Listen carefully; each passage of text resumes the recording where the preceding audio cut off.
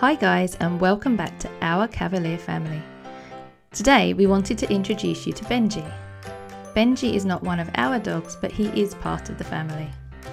Benji is my parents' dog and he is also a Cavalier but as you can see from this video he is a tricolour Cavalier which is a new colour addition to the family because as you know we only have Blenheim and Ruby Cavs.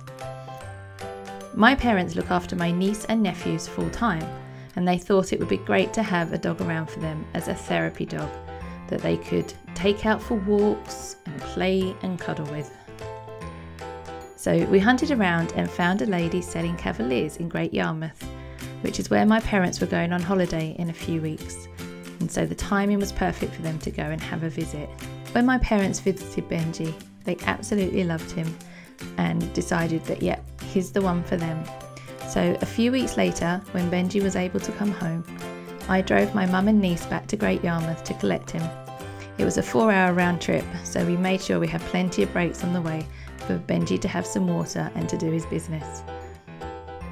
When we got home, we introduced Benji to them all and they completely fell in love, except for my youngest nephew. Benji was too active for him, but he's certainly got used to him being around now. Benji is such a fun loving dog always wants to play and have your attention. His favourite toy is called Squirrel and he takes it everywhere. Benji loves it when I take Lily over to my parents because she stayed with them for a while after our dog Ruby had her first litter, so they have this bond together and they are really close in age. Benji is just five months older than Lily. They love playing together, running around the garden and house and playing tug of war with toys and snatching bones off each other. Lily even taught Benji how to do the Lily cuddle.